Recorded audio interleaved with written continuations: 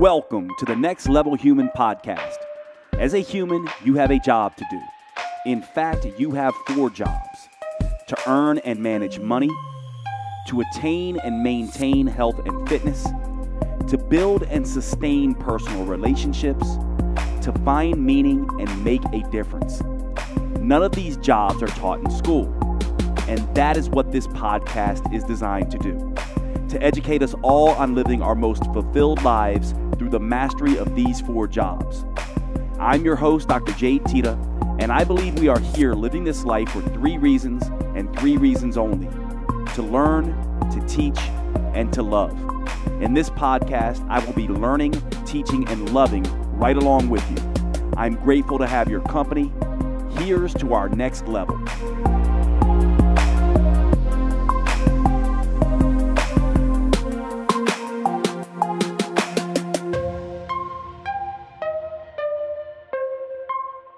What's going on, everybody? Welcome to today's show. Today, we are going to be doing another excerpt from the Next Level Metabolism audiobook.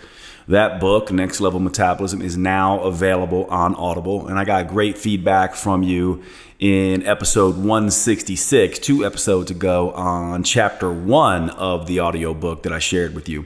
And so I thought, since I get so many questions on my metabolic toggle concept, that including chapter five of Next Level Metabolism, which covers uh, the toggles in a little bit more detail, would be useful for all of you, especially those of you who are interested in getting the book, giving you a little bit more of a taste of what exactly is in that book. And for those of you who are not interested, and remember, that book is mainly for professionals and advanced uh, health and fitness enthusiasts. It is not a diet book, it is more like a manual for metabolism or a textbook.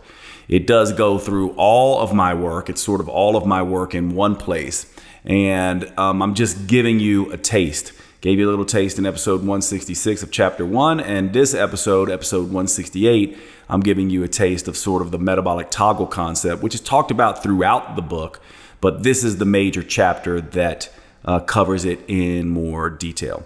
So, thanks for the feedback and letting me know um, what you want to uh, hear and that you wanted a little bit more of the book. And so here it is for you, and I hope you enjoy it. And I will see you at the next episode.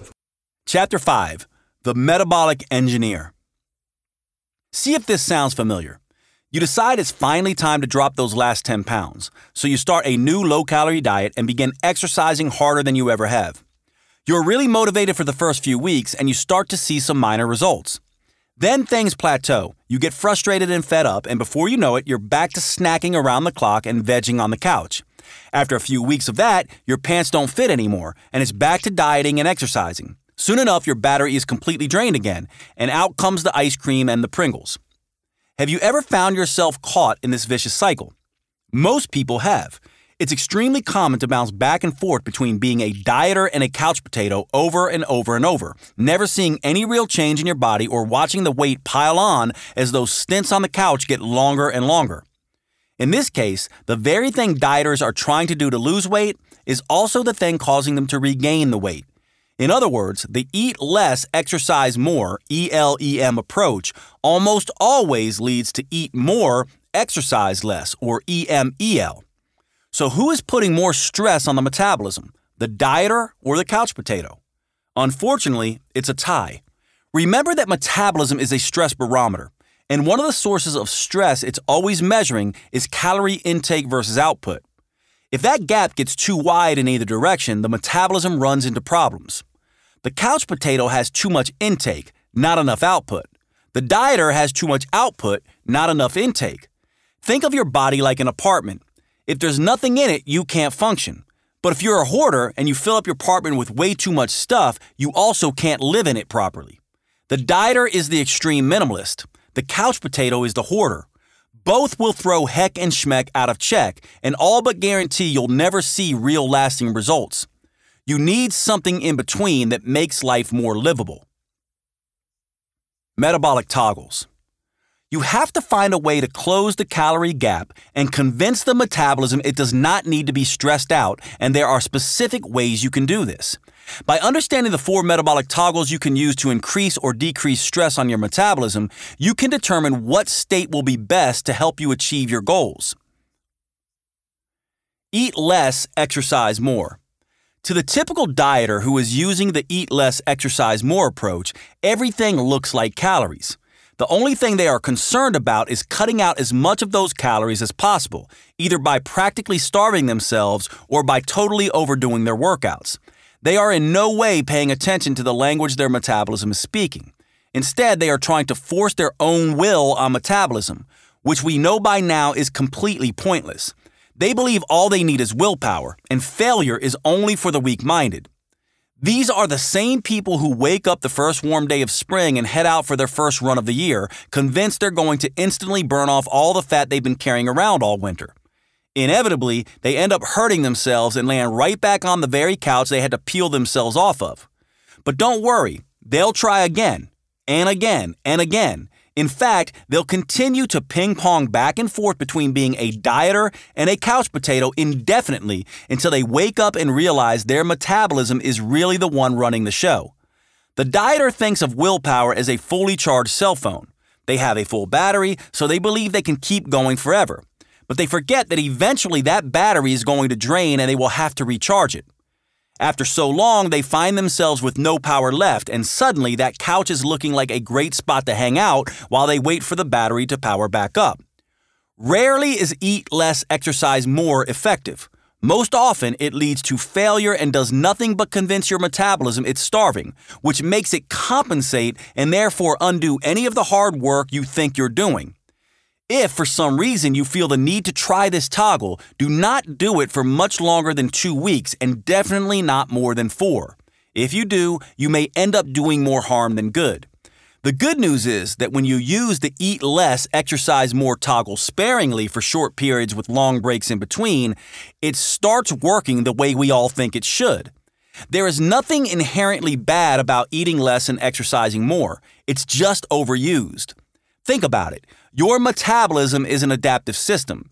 If you try to do the same thing day in and day out over and over again, the metabolism will adapt and conserve.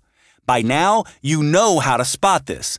The metabolism is always talking to you, and when heck and schmeck go out of check, you can be sure the eat less, exercise more toggle is no longer going to be effective.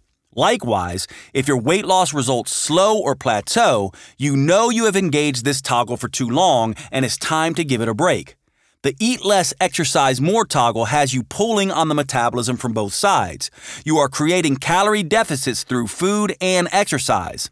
That large calorie gap between intake and output is what causes the metabolism to become more rigid and stingy in its fat usage. By giving yourself breaks from this metabolic toggle and using it intelligently and sparingly, you will be able to benefit from it once again. Eat more, exercise less. Eat more, exercise less is the couch potato toggle. It is the opposite of eat less, exercise more. It too generates a large calorie gap, but it just does so in the opposite direction. Isn't it interesting that the under eating, over exercising dieter and the over consuming, under exercising couch potato both have issues with heck and schmeck? That's because both of these toggles, when done for extended periods of time, cause a rigid, dysfunctional metabolic state. That being said, the couch potato toggle does have some utility and should not be abandoned altogether. When very short lived, it can provide some benefit toward recovery from training. It also can provide a much needed break from eat less, exercise more. For athletes and those wanting to gain muscle, it can be a useful toggle to employ. Just like eating less can slow metabolic rate, eating more can elevate it. This has led many coaches to use refeeds, a period of time, usually a few days, of eating slightly more than normal, and cheat meals with their clients to get their metabolism moving again. This approach can work, but it also has tremendous potential to backfire. Although eating more can raise metabolic rate, it typically does not do so to the same degree that dieting lowers it. Also, eating more usually means eating large amounts of highly palatable foods rich in the combinations of fat, sugar, starch, salt, and alcohol. Think burgers, pizza, pastries, and pasta. These foods can cause more cravings for the same types of foods later. This is why cheat meals often turn into cheat months, and why a refeed can turn into a feeding frenzy. Again, you know it's not going to do much for you in the long run, so if you are a person who's trying to lose weight or maintain a loss, this is a toggle you will use sparingly. Think of a brief four day vacation, or the occasional day on the weekend, or a recovery day from extreme sport or exercise the day prior. The max amount of time you should spend in this toggle is four days, and definitely not longer than seven. Anything more is likely to start working against you. For the interruption, but I want to jump in real quick and tell you about one of my favorite new products. And to start out, I want to ask you a question. If you had to follow your friends around who are not the healthiest in the world and see what they are doing, what would be the number one thing you would probably tell them to do to start. For most people, that's going to be drinking more water, right? This is something that we talk about all the time in health and fitness. It's almost as if we think of it as an afterthought now because obviously water is so crucial. However, we oftentimes get this wrong. For example, did you know that when it comes to hydration, just drinking water can make things worse. Most people don't know this. Why? Partly because most people are over drinking water and under consuming the electrolytes that help water do its job. What we don't realize is that hydration is not just about water, it's about electrolytes, the minerals in there, as well as getting that water into the cells. And so you do not want to be over consuming water if you're not getting your electrolytes right. And this opens up a whole new discussion because most people are not getting their electrolytes right. For example, did you know that low sodium, too low sodium, is an issue?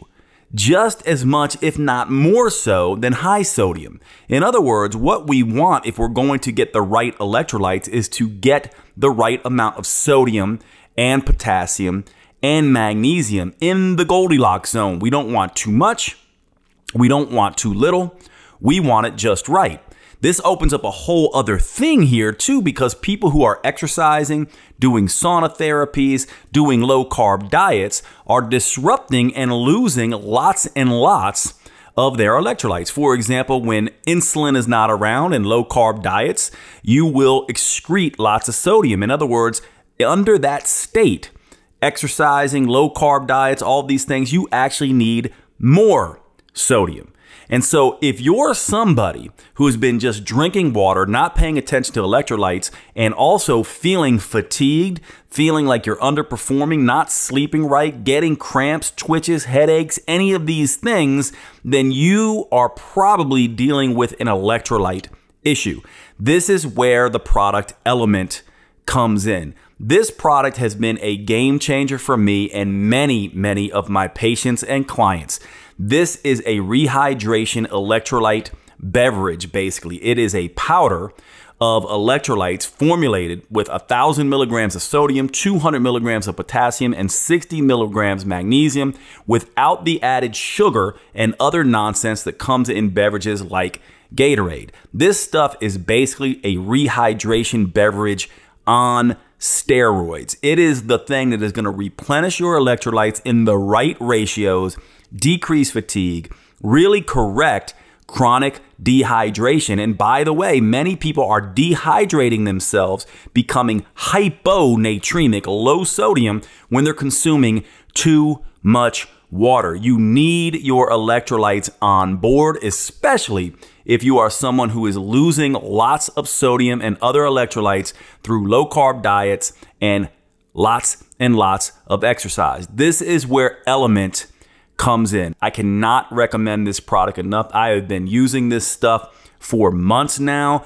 and I have immediately seen changes in my energy levels. I feel like I'm operating on a whole other level, and I have seen this as being the primary thing that people who have been using LMNT have been telling me that their fatigue is getting better, especially fatigue that comes after very intense workouts that involve lots of sweating and lots of intense output from the nervous system. So go ahead and check out LMNT. To do so, you can go to the link drjade.com slash drink L-M-N-T.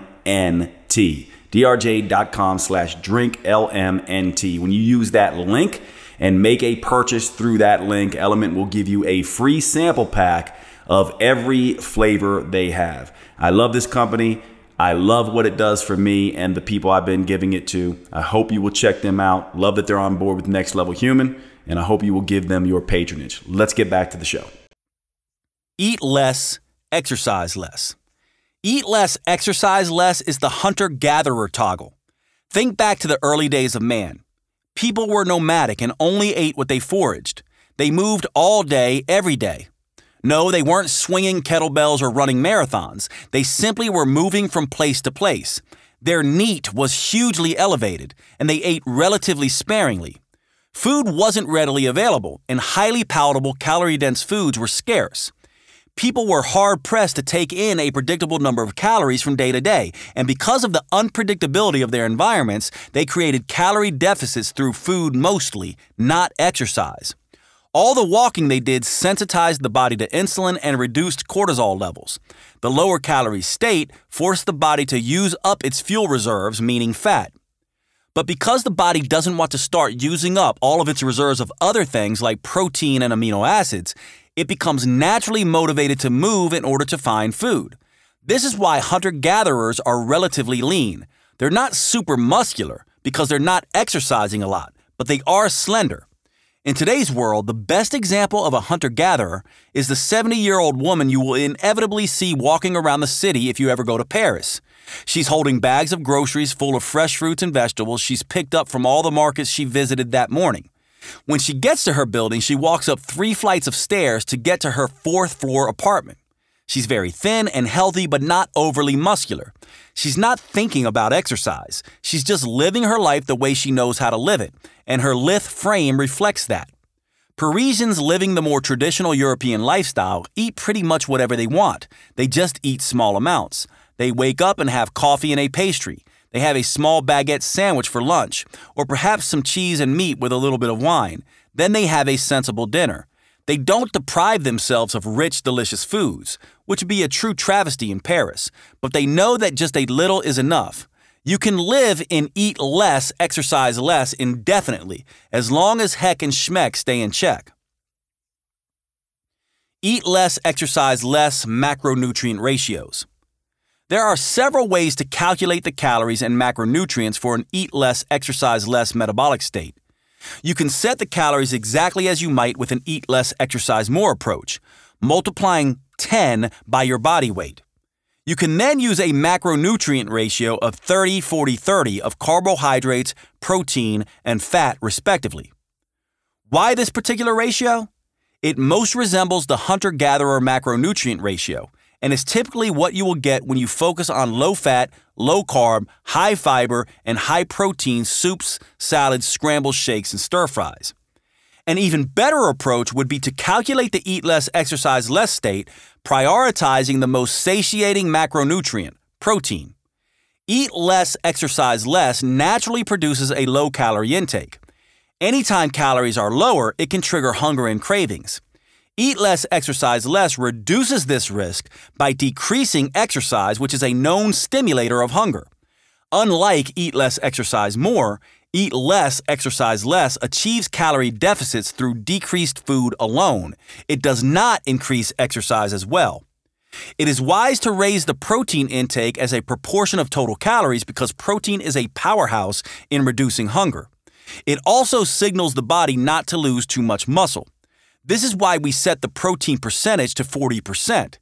Higher protein with decreased exercise is a powerful one two punch in controlling hunger and cravings. To make this more objective, we set protein grams to the lean body mass of the individual. The lean body mass is the body weight after subtracting out fat stores and consists of muscle, bone, water, and organ tissue. You can calculate your lean body mass by understanding your body fat percentage. A 200 pound person with 30% body fat has a lean body mass of 200 minus 60 or 140. In the eat less, exercise less approach, this would be the number of protein grams consumed. From there, we can back calculate the number of calories that 140 grams of protein is 40% of. So we multiply 140 times 4 because there are 4 calories per gram of protein. That gives us 560 calories of protein. Then we cross multiply by dividing 0.40, 40%, into 560, which gives us a total of 1,400 calories. From there, we calculate the fat grams by multiplying 1,400 by 0.30, 30% fat, which gives us 420 calories of fat. There are 9 calories per gram of fat, so we divide 420 by 9 to get 46.66 grams or 47 grams of fat. We then repeat this process with the carbs. 1,400 times 0.30 or 30% carbs again yields 420 calories. There are 4 calories per gram of carbohydrate, and 420 divided by 4 gives us 105 grams of carbohydrate. This leaves us with 1,400 calories, with 105 grams of carbohydrate, 140 grams of protein, and 47 grams of fat. Many will look at these numbers and question the calorie level. It is important to remember that low calories coupled with extreme or prolonged consistent exercise is very different than low calories with just walking and activities of daily living. If one were to consider the actual caloric availability of living as a hunter gatherer, eating only what could be killed or gathered, one would realize that consistently achieving calorie intake much above 1500 to 2000 calories per day would be relatively difficult to do. Consider that five chicken breasts, along with nearly unlimited salad greens and a few cups of berries, would constitute the same type of diet calculated above and would not exceed much past 1200 calories, despite being extremely nutritious and hunger suppressing. The eat less, exercise less intuitive approach. Not everyone is a calorie counter or likes to obsess about macronutrient balance.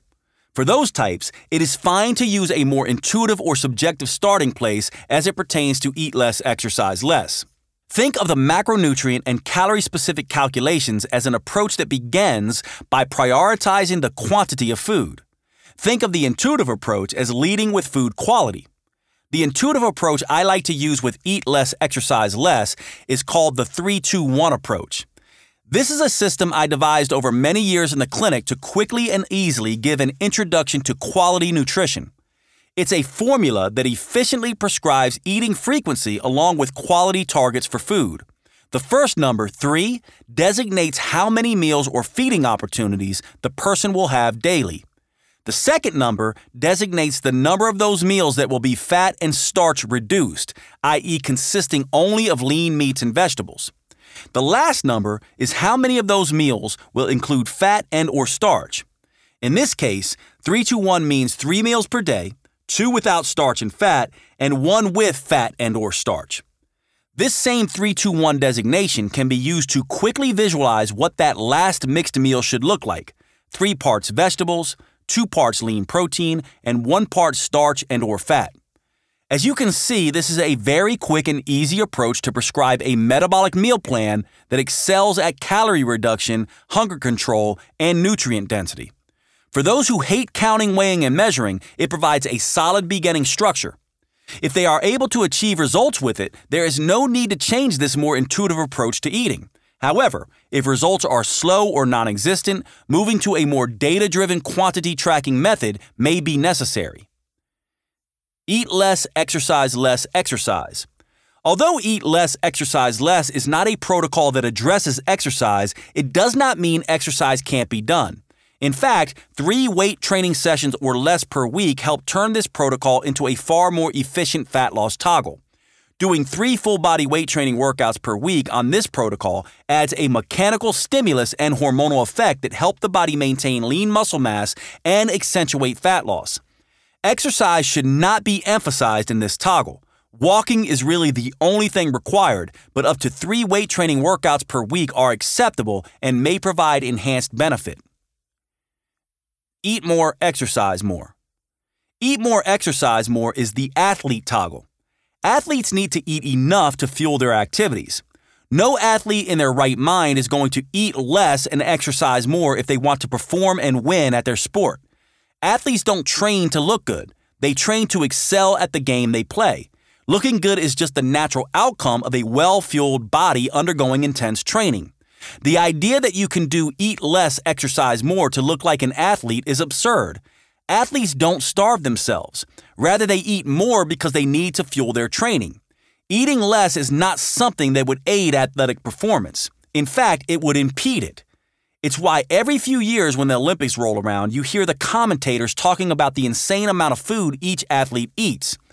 Whereas eat less, exercise less creates a calorie deficit with food, eat more, exercise more manipulates the calorie gap with exercise.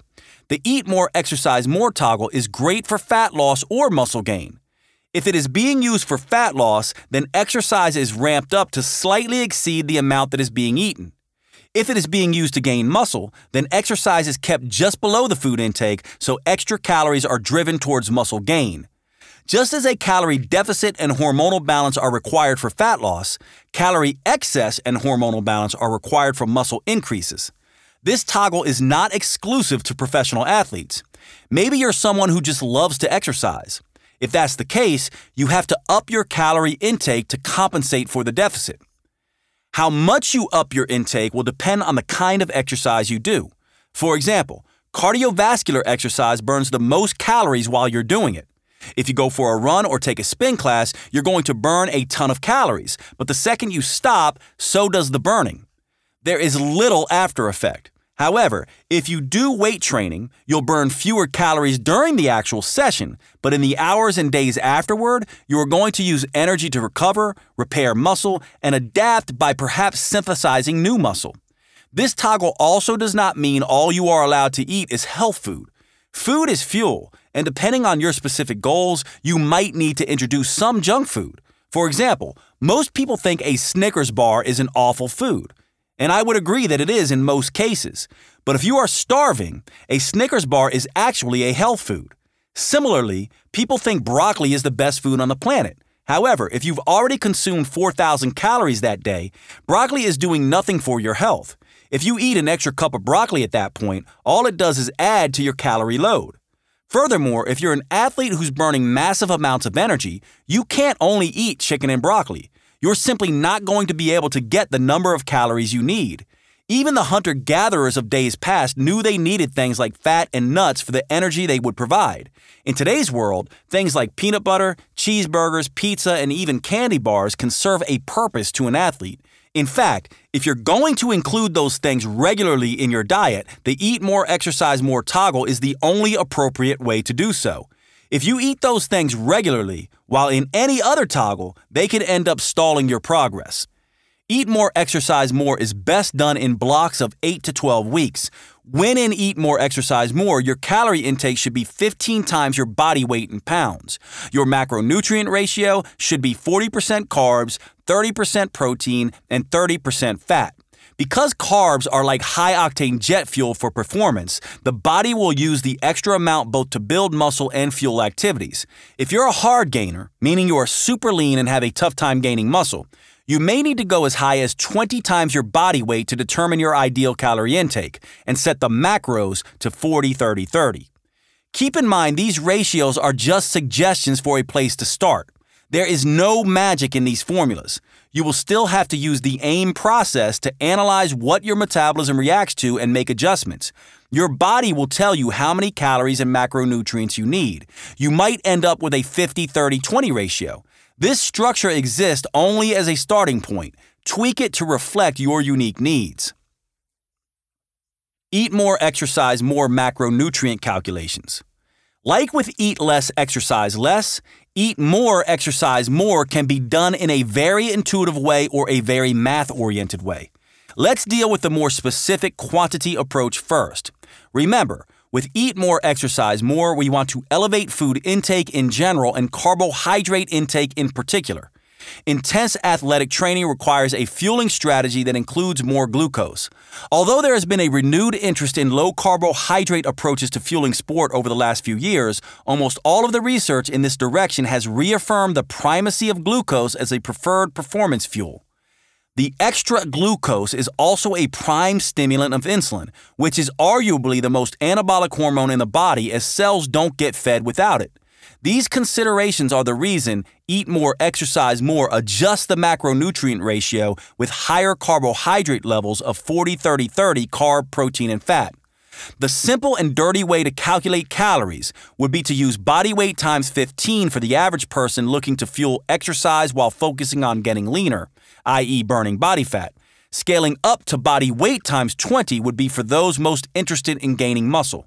Of course, as you've learned, these numbers are always just best starting places. The proof of the numbers will be apparent or not based on results.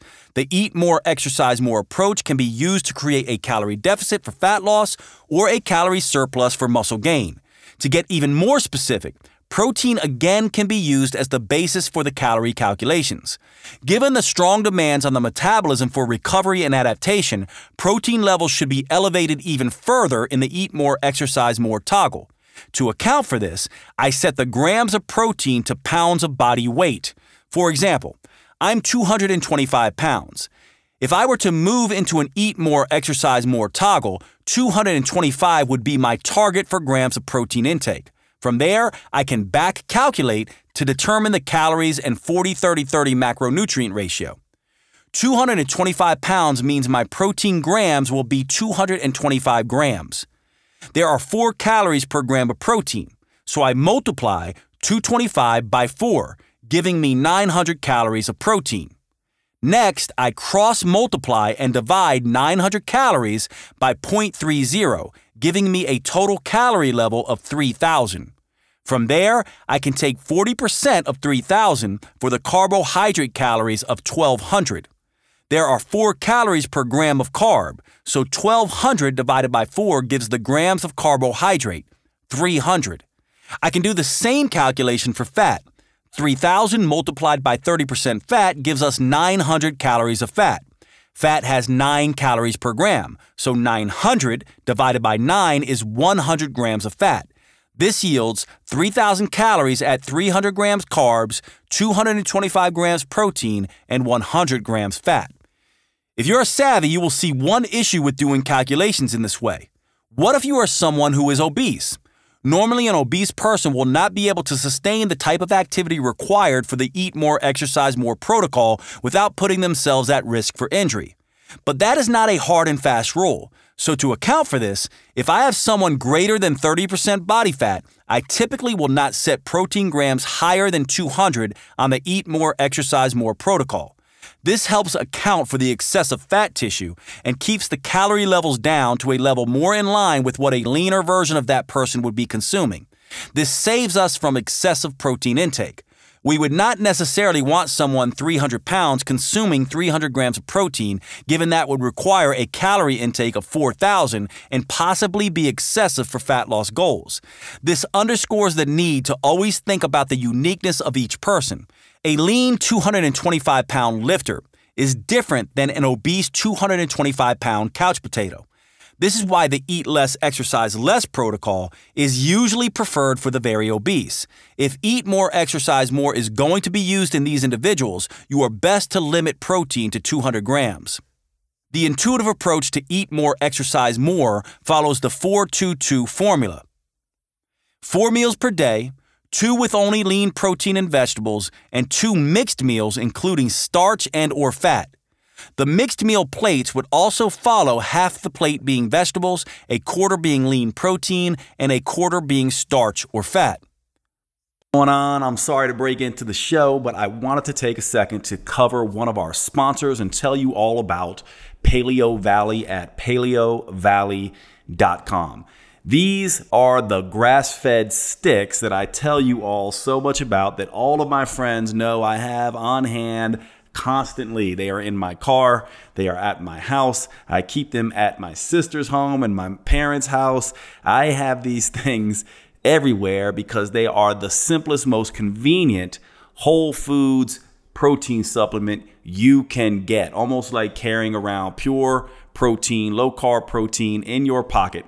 They also, these Paleo Valley beef sticks, are the only the only 100% grass fed and grass finished beef sticks on the market. They use organic spices. They are naturally fermented instead of using nitrates and nitrites that can be a problem in some of these cured meats. And they simply taste fantastic. Check out the original or the jalapeno. Those are my favorites. Please make sure you go over to paleovalley.com and visit. When checking out, use the code NEXT level for a 15% discount. Remember, our sponsors keep the show going by you giving them your patronage and spending your money on these high quality products. You actually do a few things. One, you're helping to support the podcast. And two, you are helping your health. And three, you are making sure that good quality companies like Paleo Valley can be out there doing their business, changing the world, making the earth better. One of the things you may not know about this is that grass fed organic and grass finished beef is doing something that is so utterly important for our environment, actually helping to repopulate the topsoil. A lot of people don't know this, but our topsoil is being extremely depleted. And raising animals, especially cattle, the correct way helps to get that topsoil back. This is one of the reasons why I love Paleo Valley. Not to mention it tastes fantastic, but they're one of these companies like my other sponsors, Cured Nutrition and Organifi, that are doing the right things by the environment. I really appreciate everything they do, and I hope you will check them out. Thanks so much. PaleoValley.com. Use the code Next Level. And now back to the show. Eat more, exercise more, exercise.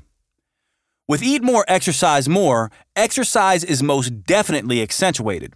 For the Eat More, Exercise More toggle to be effective, at least four long duration and or high intensity workouts should be performed per week. Remember, this is an athletic protocol. Both movement and metabolics should be utilized. This is athletic training at its best, and the best exercise modalities will be those that utilize intense weight training and cardio. In the Eat More, Exercise More protocol, any type of exercise is game, but weight training should most definitely be the dominant form of metabolics in order to help the body maintain or even gain muscle while simultaneously burning fat. Metabolism is not a great multitasker. It either likes to be burning muscle and fat or gaining muscle and fat. The Eat More, Exercise More protocol is the one that helps the metabolism multitask better. If you are looking to simultaneously gain muscle and burn fat, this is the protocol for you. The fifth toggle ES, ES. Eat some, exercise some. There is actually one more metabolic toggle that represents caloric equilibrium. You can think of this as a maintenance toggle. It's the metabolic state where the intake of calories and output of energy are relatively stable and balanced. This is referred to as isocaloric to distinguish it from hypocaloric, low calorie state or deficit, and hypercaloric, high calorie state or excess. Many people live in this eat some, exercise some state and choose never to diet at all, living happily here. In fact, most of the people you see eating and exercising and being able to maintain that lifestyle year in and year out are actually in the eat some, exercise some state, not in the eat less, exercise more state. This is a major point of confusion for people who look at others with healthy lifestyles and assume they are always eating less and exercising more. They are not. They are usually either in an eat more, exercise more athletic state, and thereby creating a calorie deficit or excess for fat loss or muscle gain, respectively, or more likely, they are in the eat some, exercise some state. You can think of eat some, exercise some as your home base. It is the place that keeps your body weight stable and does not result in weight loss or weight gain. In fact, this is a very important toggle to understand, as often losing substantial amounts of body fat requires a constant return to this balanced holding pattern of eat some, exercise some. Remember that anytime there is a gap between calorie intake and output, it can possibly create more pressure on the metabolic stress barometer. Do that for too long, and the metabolism will react negatively. However, spending only short periods of time in calorie deficits and then returning to isocaloric levels is one of the most effective strategies I have found clinically to get the weight off and keep it off. This is also a major point of confusion and contention for coaches working with individuals for weight loss. These coaches will often rightly deduce that someone who is eating less and exercising more but not getting results needs to do something different.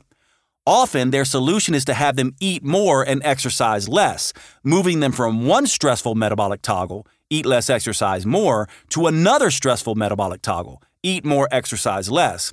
Instead, they should be moving them into eat more, exercise more by simply having them eat more to match output, or move them to eat less, exercise less by having them exercise less to match output. Or it could be even better to simply move them gently back to a diet and exercise approach where exercise, calories, and food intake are balanced out completely, or eat some, exercise some. This is the best approach to take. This is my version of a diet break and avoids the consequences of the eat less, exercise more to eat more, exercise less switch. This is the approach used in the often quoted study on intermittent energy restriction called the Matador study minimizing adaptive thermogenesis and deactivating obesity rebound. The study compared two groups of people. Both groups were put through a calorie reduced lifestyle of 30%. Each group followed the diet for 16 weeks. The traditional diet group simply did continuous energy restriction for the entire time period. The other group dieted by taking two weeks in energy deficit, followed by two weeks in an isocaloric state. In other words, one group did eat less, exercise more for 16 weeks. The other did two weeks in eat less, exercise more, followed by a two week diet break in eat some, exercise some for a total period of 32 weeks, 16 of which were in eat less, exercise more, exactly the same as the control group. Both groups lost weight, but the intermittent group lost more weight, more fat, and less muscle. Weight loss was 31 pounds in the intermittent calorie restriction group and 20 pounds in the continuous calorie restriction group.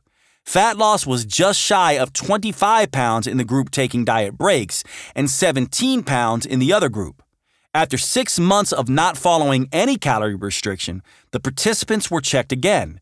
The group alternating eat less, exercise more with eat some, exercise some was still down 18 pounds, while the other group had gained all but 5 pounds. Although this study was met with great fanfare when it first came out, studies done since have been mixed in terms of the effectiveness of this approach. That being said, long before the Matador study was published, this approach of diet breaks and alternating patterns of calorie intake versus output had already proven effective in my clinical work for at least a decade. It is important when evaluating effective tools to be aware of both the art and the science of nutritional approaches. The art of nutritional science happens on the fringe of the research, where existing understanding meets big gaps in our knowledge. It's in that chasm i.e., the gap between what we know and what we don't know, where new ideas and tactics are explored. Often these tools and techniques work in the clinic despite not yet having scientific support. This is why a savvy coach realizes that science only sometimes defines the approach. More often, it refines the approach. Timing is everything. As you'll have noticed by now, you should not stay in the eat less, exercise more, or eat more, exercise less toggles for long periods of time. Eat more, exercise more can be done for much longer, but often requires breaks given it is a much more grueling regime. Eat less, exercise less, and eat some, exercise some are toggles that can most certainly be lived in indefinitely you actually should be jumping around between toggles because as you do, your metabolism becomes more resilient and more flexible. As it becomes less and less rigid, you have freedom to bounce back and forth. For instance, when you stay in eat less, exercise less, or eat more, exercise more for a few weeks, then jump to eat less, exercise more, you may actually see results again, albeit just for another short period of time. If you stay in one toggle for too long, your metabolism will inevitably adapt and results will cease. The more flexible you are about switching toggles, the more flexible your metabolism will be. The easy way to gauge when it's time to switch toggles is to listen to hunger, energy, and cravings, and sleep, hunger, mood, energy, and cravings. HEC and SHMEC are always the most efficient way to assess metabolic stress. However, you can also look for other cues as to when it's best to move from one to another. For example, women can choose toggles to coincide with their menstrual cycles. Eat more, exercise more is an ideal choice when estrogen is dominating, whereas eat less, exercise less is best when progesterone is in charge. More on this in Chapter 8. You could toggle seasonally, the way our hunter gatherer ancestors did. In that scenario, winter is ideal for eat less, exercise less. Then, as the weather warms and animals emerging from a long winter are leaner, eat less, exercise more is the natural choice. That doesn't last long, however, because the foliage and food sources soon become more plentiful and you begin moving more, which means it's time for eat more, exercise more. The last weeks or so of late fall make the most sense for eat more, exercise less, as animals fatten up in anticipation of winter and days become shorter. You also can do it according to your work week when eat less, exercise less might make the most sense during the weekdays since you're not exercising, and eat more, exercise more works better on the weekends when you are more active. Then, if you want to enjoy time with friends and family, you can do eat more, exercise less every once in a while. Finally, the savviest fitness enthusiasts can use an eat less, exercise less style of eating on days where you are not working out, and an eat more, exercise more style of eating on the days you do work out. In fact, many active individuals have naturally and intuitively adopted this approach, even using an intermittent fasting approach on the days they travel or are not very active. Again, as is the case with all things metabolism, you have to do what's right for you when it's going to work best for you. Your body will send you the signs when it's time to switch things up, and by now, you should know how to look for them.